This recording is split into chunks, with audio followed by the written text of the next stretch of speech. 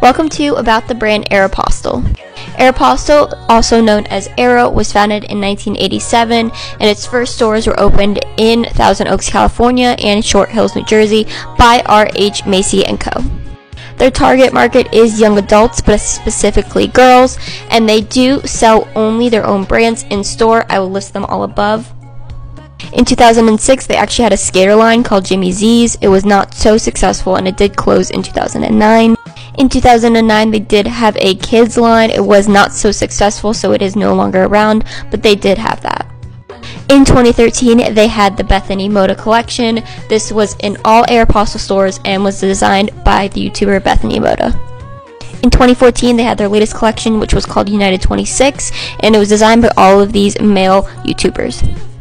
Starting in 2006, things started to go downhill, and leading all the way up to 2016 is when they filed for bankruptcy.